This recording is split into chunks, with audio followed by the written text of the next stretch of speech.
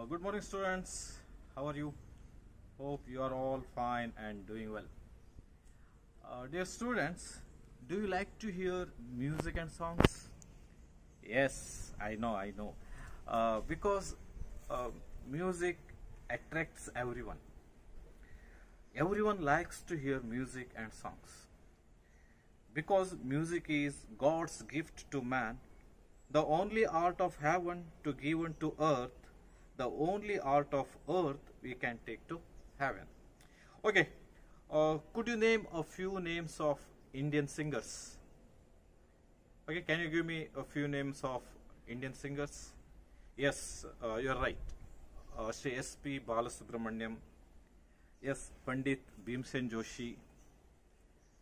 Yes, yes, yeah. Srimati Gangubai Hangal. Then, yes, uh, Srimati S. Janaki. Any? Remember the names of singers? Yes, the famous singer Lata Mangeshkar. Yes, students, you are all right. Excellent answers are given by you. They are the famous singers of India. Okay, can you tell me the famous Indian musicians? Okay, try. Remember the names of uh, Indian musicians. Yes, yes, you are right. Uh, Shri A.R. Rahman. And the famous Indian, uh, India, South Indian musician, Ilaiyaraaja. Yes, then Hamsaleka. Okay, right answer. Excellent. And then, uh, yes, uh, Arjun Janya. Okay, yes, yes, yes. Uh, and then in Hindi, uh, Bappi. Yes, students, they are all famous Indian musicians. Today, let us learn about a jazz musician described by Carl Wendell Hines Jr. in the poem Jazz Poem 2. Okay, uh, all of you listen the poem carefully.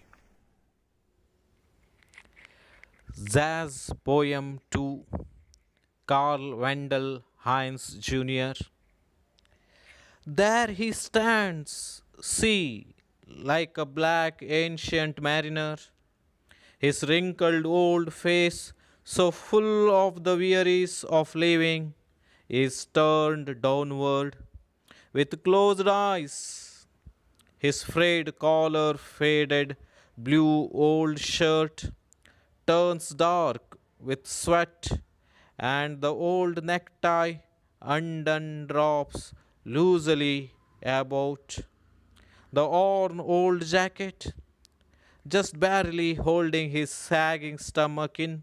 Yeah, his run down shoes have paper in them, and his rough, unshaven face shows pain in each wrinkle, but there he stands in self brought solitude, head still down, eyes still closed, ears perked and trained upon the bass line, for across his chest lies an old alto saxophone supported from his neck by a wire coat hanger.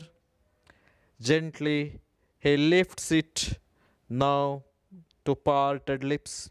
See, to tell all the world that he is a black man, that he was sent here to preach the black gospel of jazz. Now, preaching it with words of screaming notes and chords, he is no longer a man. No, not even a black man, but, yeah, a bird. One that gathers his wings and flies high, high, higher, until he flies away or come back to find himself a black man again. Dear students, now let us understand about the poet. Carl Wendell Hines Jr. was born on September 1, 1940, in Wilson, North Carolina, to middle class black parents. Carl Wendell Hines attended public school in Wilson, where he developed an interest in music and became a jazz pianist. Hines had his first success as a published poet when Arna Bontemps accepted two jazz poems in 1960. He continued his interest in jazz. His poems have been hoisted as some of the best by contemporary writers. Now, look at the meanings of new words.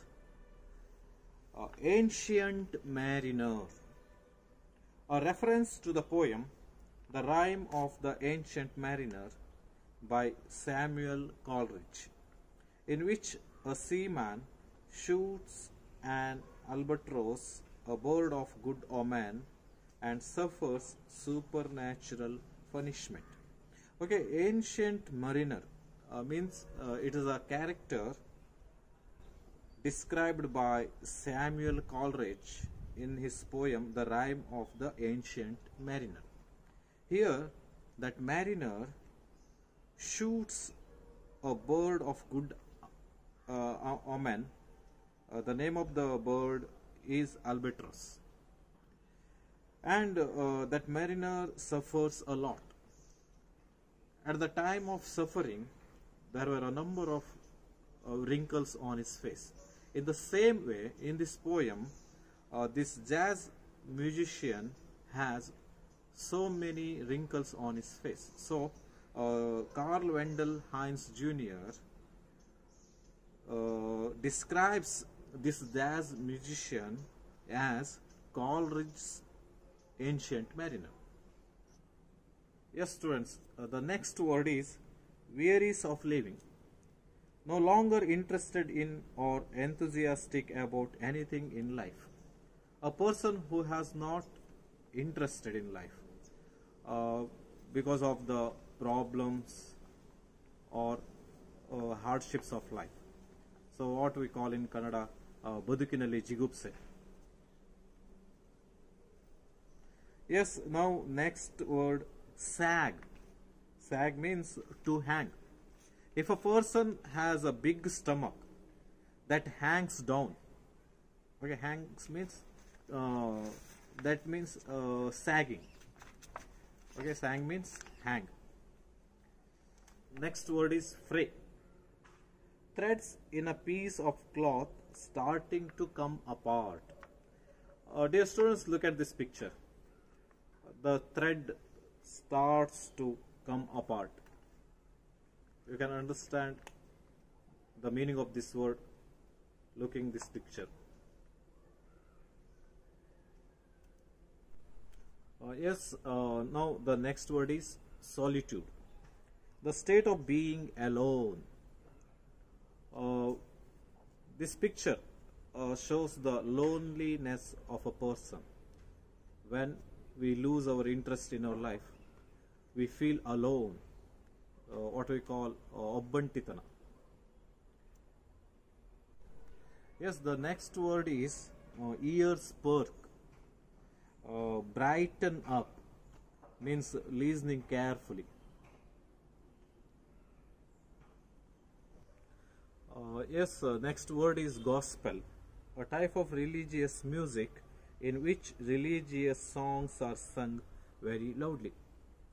In temples or in any center of religion, we can see the, some singers sing the religious prayers in loud voice. Uh, in temples, uh, we call it as kirtana. Yes, uh, next word is screaming notes, loud musical sounds. Uh, you can see some singers, they sing uh, their songs in a loud voice. Uh, that is called screaming notes. Screaming means in a high pitch. Uh, dear students, next word is wrinkle. Wrinkle means a slight line.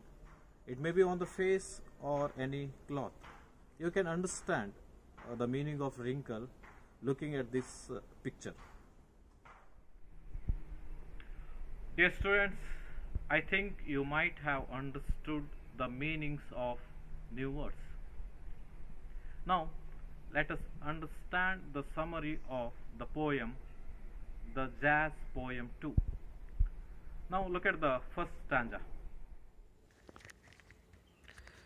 There he stands, see, like a black ancient mariner, his wrinkled old face, so full of the wearies of living, is turned downward with closed eyes. Now discuss the summary. The jazz player stands like a black ancient mariner. Here, uh, this uh, ancient mariner is a character of a famous poet Samuel Coleridge.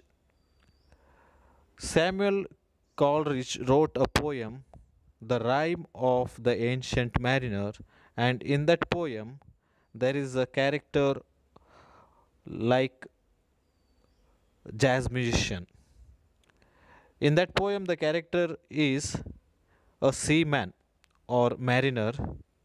He shoots a bird of good omen. That bird's name is albatross, and that mariner shoots that bird, and he suffers supernatural punishment. Uh, like that mariner, here the jazz musician stands. His face is full of wrinkles. His wrinkled old face reflects he is not interested anything in life. He keeps down his head with closed eyes. Look at this picture. His eyes are closed and his uh, face is very old and that face reflects he is not interested anything in life. Now look at the second stanza. His frayed collar, faded blue old shirt turns dark with sweat, and the old necktie undone drops loosely about the worn old black old jacket. Uh, he wears faded blue old shirt which turns dark and frayed collar. Uh, here, frayed collar means that is old collar the threads of his collar uh, came apart. His shirt turned dark because of the sweat. And the necktie, it is also old and it is very loose. Uh, look at the picture. Uh, his necktie is very loose. Uh, that is about to be worn. Now look at the third stanza. Just barely holding his sagging stomach in, yeah, his run down shoes have paper in them, and his rough, unshaven face shows pain in each wrinkle, but there he stands in self brought solitude. Here in this stanza, uh, look at his uh, stomach. Look at the picture. Look at his stomach. Uh, his old jacket is holding his hanging stomach. Uh, that is called here a sag. The word sag is used uh, his jacket is barely holding his uh, stagging stomach. His rough face shows pain in each wrinkle. Okay, uh, look at his rundown shoes. Have paper in them. Uh, look at the shoes. Look at the shoes. Uh, run down shoes means uh, broken shoes. He put paper in them. And his face is very rough. It is unshaven. And uh, once again you look at his face. Look at the picture. You can see the wrinkles on his face. And each wrinkle that shows his pain. That means uh, his life is full of pain and his life is full of hardships. So each wrinkle on his fa- face that shows the pain. But there he stands in self brought solitude. He stands alone in the state of uh, solitude. Now look at the next stanza. Head still down, eyes still closed, ears perked, and trained upon the bass line, for across his chest lies an old alto saxophone. Yes, uh, his head still down. His head is uh, downwards, and even his eyes are still closed, but ears perked and trained upon the bass line, for across his chest lies an old alto saxophone. Look at the uh, picture. You can see uh, saxophone across his chest. The musicians uh, use saxophone. You might have seen this uh, instrument which musicians use that is saxophone. It is across his uh, chest. Now look at the next stanza. An old alto saxophone supported from his neck by a wire coat hanger. Gently he lifts it now to parted lips. Yes, uh, you can see a saxophone across his uh, chest. Uh, now he lifts it now to parted lips. Okay, look at the picture. Uh, the saxophone is uh, he is using to preach the gospel. So, uh, jazz musician is using this saxophone. Uh, parted lips means uh, open, open lips. Now he kept the saxophone in between two lips. Now look at the next stanza.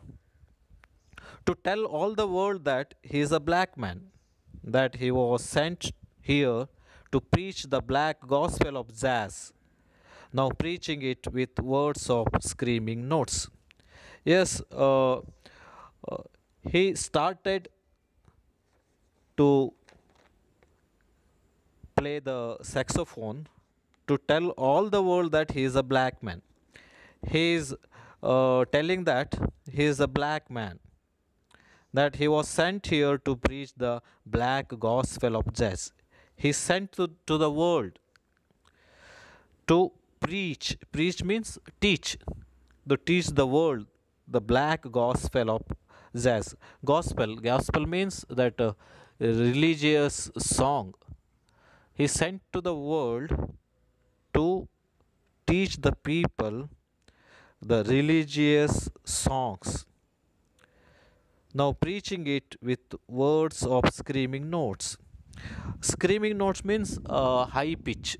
He is uh, playing saxophone in uh, loud voice, preaching uh, the black gospel to the world.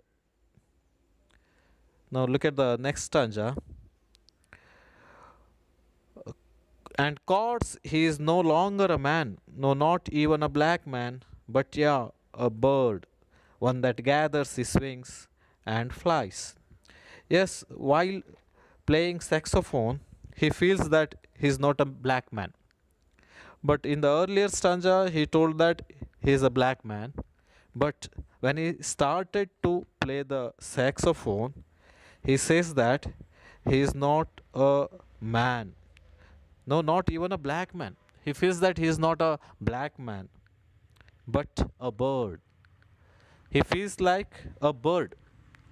As he was playing saxophone, he feels like a bird, one that gathers his wings.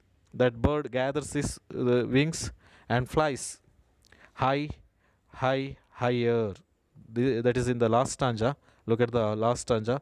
High, high, higher until he flies away or come back to find himself a black man again.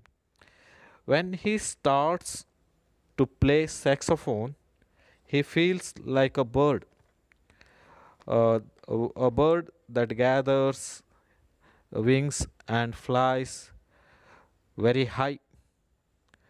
Uh, here, uh, the three words are used high, high, higher.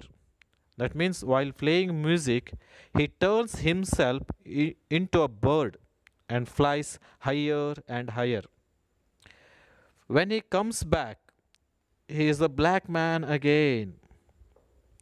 So, uh, this poem suggests that music has such a power that it can get rid of all our worries and sadness and make us cheerful and lively. So, that is the summary of this poem, Jazz Poem 2. Uh, dear students, hope you understand the poem. Now, can I ask some questions? Could you answer my questions now? The first question is How has the poet described the facial expression of the jazz player? Okay, can you answer this question? Yes, yes, yes, your answer is right. The jazz player has wrinkled old face. It reflects wearies of living. He turns his face downwards with closed eyes. His rough, unshaven face shows pain in each wrinkle.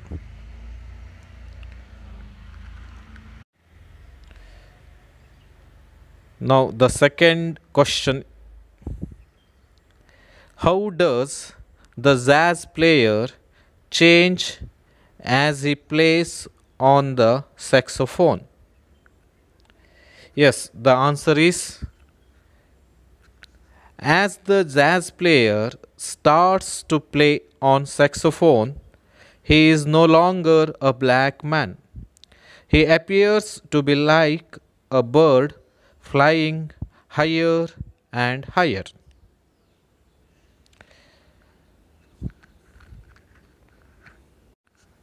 Now, the next question is What message does the jazz player want to convey? Yes, answer this question. Yes, the answer is the jazz player wants to convey that he is a black man and he was sent to the world to preach the black gospel of jazz. The next question is Describe the appearance of the jazz player. Yes, the answer is the jazz player has wrinkled old face. He wears a faded blue old shirt, an old necktie, and old jacket.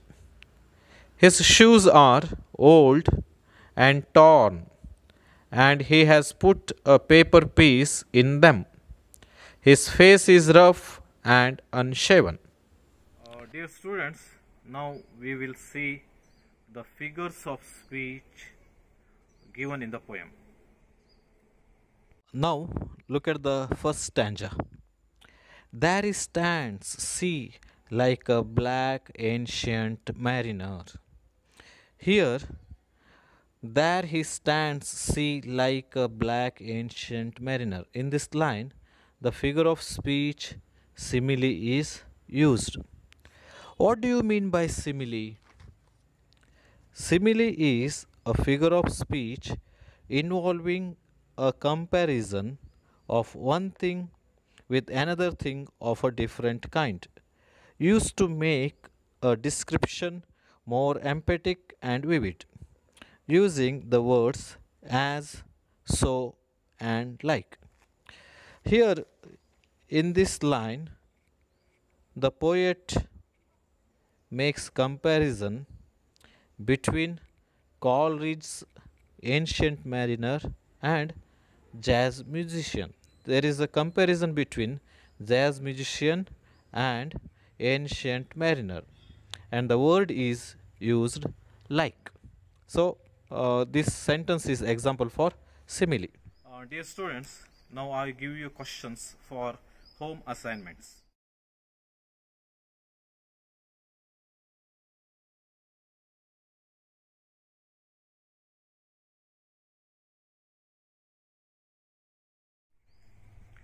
Dear students, hope you understood the poem. Thank you.